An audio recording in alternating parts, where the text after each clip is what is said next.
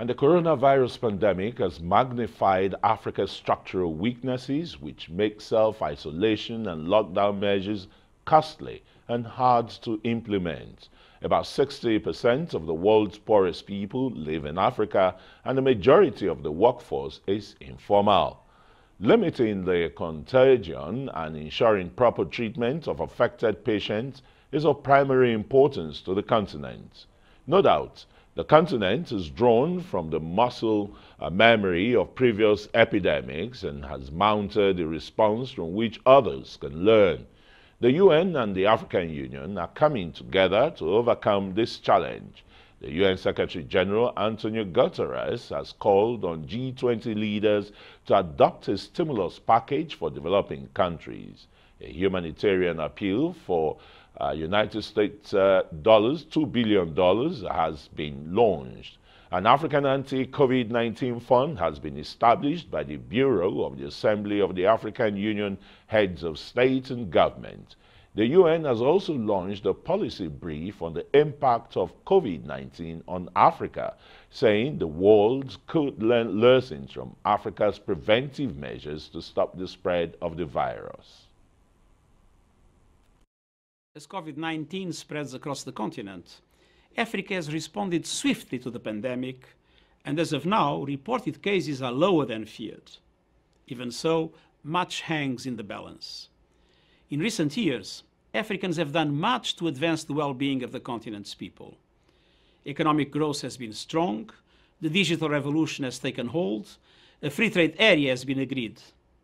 But the pandemic threatens African progress.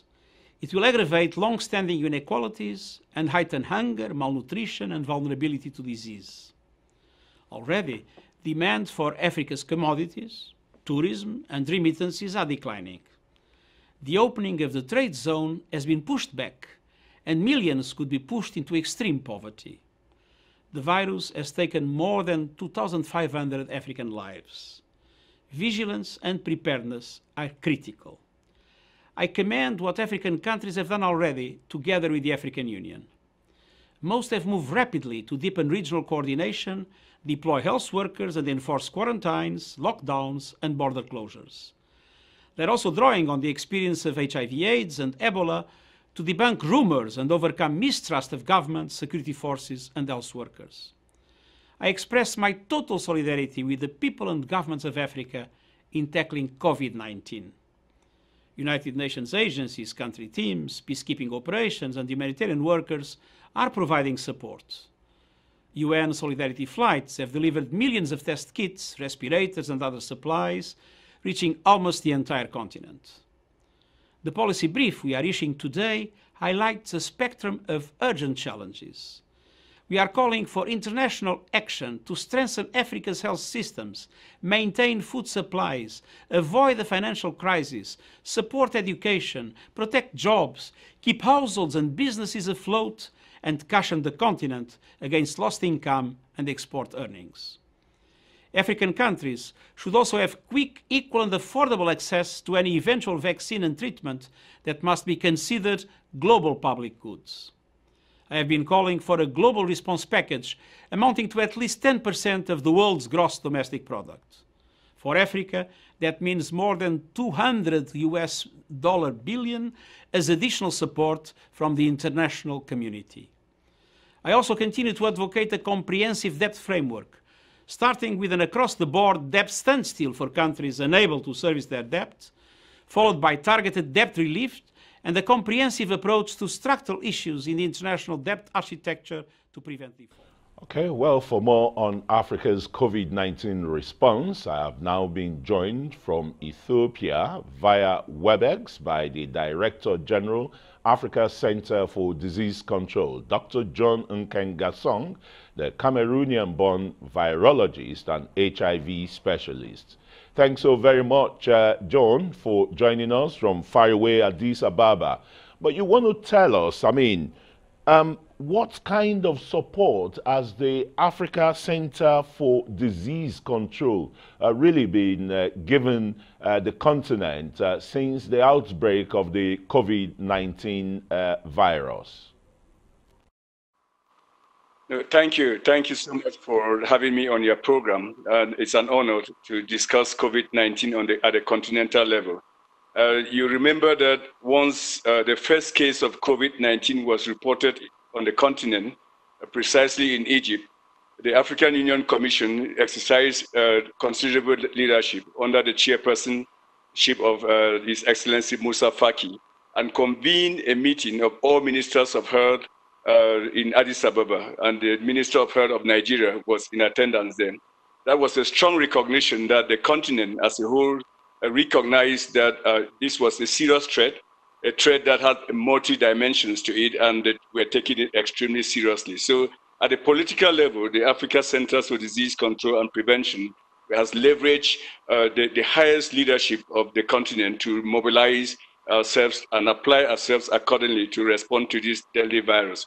Secondly, at the technical level, we have established a coordinating task force called the African Task Force for Coronavirus Response and Preparedness, which, of course, Nigeria is part of that, and the WHO as well. So we do coordinate activities at the technical level in five major areas, including surveillance, laboratory, uh, enhanced airport screening, as well as risk communication and then research and, and, and science. So those are the areas that the Africa CDC has been supporting member states in coordination, of course, with the World Health Organization. Fantastic to know, uh, John. But uh, let me ask you, no doubt you must be faced with uh, quite a number of challenges. And uh, good to know again that uh, the WHO is uh, collaborating with the center. But were you part of uh, the alarming figures given by the WHO when it said between 300,000 to about 3 million Africans are at the risk of, you know, uh, dying from the COVID-19 virus? Do you share uh, that figure by the WHO? So uh, I think that, that, that's a very good question. we should examine where we are as a continent today. Uh, as a continent of 55 member states, we've reported, as we speak, over 100,000 cases of COVID 19. And this is a new threshold we've crossed today with over uh, 3,000, that is a little bit over uh, 3,000 deaths. I mean, this shows clearly that our uh, infection or pandemic is still on, on the rising side there. I think we have to take this very, very seriously. So, we, as the Africa Centers for Disease Control and Prevention, uh, uh, of course, recognize that modeling is very important to understand the trajectory of this pandemic. We also recognize that we should pay attention to mitigating and trying to blunt this, this pandemic using three strategies. One is to make sure we increase our testing. Secondly, that we trace people who are infected, isolate them. And thirdly, that we treat, we provide treatment, that is care for those who are in, in infected. them. We believe that we cannot treat ourselves out of this pandemic, but we can test ourselves out of this pandemic if we do the right things there. So uh, modeling in Africa is challenging because you need to have accurate data, which we are still struggling with. The strategy that the continent elaborated on February 25th, uh, sorry, February 22nd, hinges on the ability to coordinate, to cooperate, to coordinate, and to communicate. So the more we have information from member states, the more you empower us to come out with appropriate predictions and projections that will be meaningful for our continent. But for now, we are focusing on making sure that we contain this outbreak uh, as quickly as, as possible. Containing the outbreak as quickly as possible. Yours is uh, a center for disease control. But what other collaborative efforts have you been having from pharmaceutical companies, uh, particularly herbal uh, products uh, for the treatment or management of COVID-19 virus. We know that Madagascar uh, came up with one called COVID Organics. What kind of collaborative effort do you have with Trado uh, African Herbal Medicine?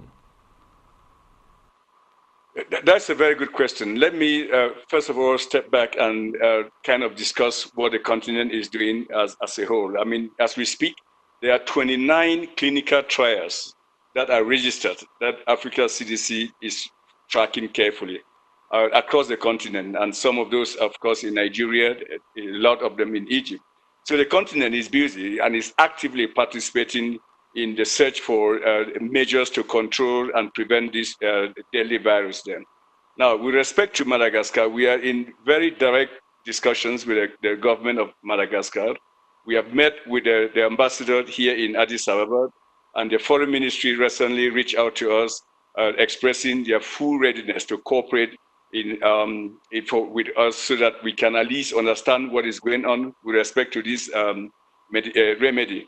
I think I need to be very clear that we uh, know that the solution, uh, the, the, the, medical solution against COVID 19 will come from anywhere. I think we, we approach that with an open mind. Yeah, Webex uh, from Ethiopia. Now, um, let me allow you conclude that's your uh, line of thoughts before we went on break. That's about how you're trying to collaborate with the Madagascan government on the COVID uh, organics that they've produced. Absolutely. I was saying that we have uh, now officially engaged with the government of Madagascar.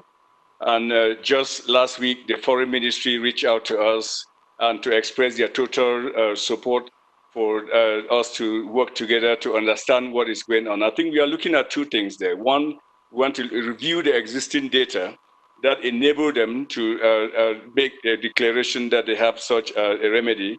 And then secondly, to examine if there are gaps that needs to be filled and we work collaboratively with them to ensure that we conduct a, a proper um, evaluation or clinical trial. So again, without seeing the data on safety and efficacy, it's uh, difficult for us to make any pronouncement at this point. But we remain extremely open to collaborate with the government of Madagascar. Uh, good request from the African continent about uh, using uh, herbal, uh, traditional herbal uh, medicines for the management of COVID-19, but none uh, has been certified yet by maybe the World Health Organization and organizations like yours. Is that correct? That is absolutely correct. And again, I want to be very clear that we are not by saying that we have not validated that, uh, expressing any doubts that uh, traditional medicine can play a critical role in this. We are extremely open to any solution. We don't know where the solution will come from, but we insist on two things that there should be evidence that it is safe for the, uh, the patient, and then secondly, that it's effective, or what we call efficacious against COVID 19 very well open to all solutions uh, to finding, you know, um, uh, the cure or management of the COVID-19. But there are loads of gaps, even from your own testing kits that you've been able to uh, distribute, just about 13,000 short of the 1 million target. And when you look at uh, highly populated countries like Nigeria with about 200 million people, you'll find that that is uh, highly insignificant. What other steps, I mean, what other support are you getting from world bodies, you know, to speed up uh, the testing issue? That's why some analysts, some health experts say that uh, the curve is though slowly climbing because the testing is very minute that is going on in the continent. You, you are absolutely right. We have a challenge as a continent that we are not uh, testing enough. And that is not because the continent doesn't know how to test. We know that uh, it, Africa is used to testing massively. We are used to testing a lot of, uh, doing a lot of HIV tests, tuberculosis tests, and malaria tests. But we do not manufacture tests on the continent. We have to rely on externalities to uh, fuel our supply chain management for, for testing kits uh, and, and the tests and reagents and accessories that come, come with that. So I think we have to always recognize that, that if you take a country like Nigeria, you should be able to uh, test about 2 million people. That is 1% of your population in order to uh, meet appropriate re- requirements there. But as we speak today, I think Nigeria has tested about 40,000 people but that is significantly up from just where we were one month ago. Just one month ago, to be specific, on the 26th of April, the testing number in Nigeria was around 10,000. And so the more you test, the more you find. And the, as the Nigeria strategy, well elaborated by the Nigeria CDC expresses, you have to be able to uh, test people, isolate them, uh, rapidly and then treat them. That strategy aligns squarely with what the Africa CDC is promoting, which is the, the PACT initiative, the Partnership to Accelerate COVID Testing. And we are very determined uh, to continue to work with partners to increase that number of tests to about 10 million in the next uh, two to three months. And we are working with several parties and, and exploring all markets, including the European, working closely with the World Health Organization, working with the, the US markets, and working with the Chinese markets to unlock the supply chain management system for diagnostics. As we speak, we have just shipped 60,000 additional tests to Nigeria, which should be, arriving either today or in course of uh, the next few days there to support their testing ability.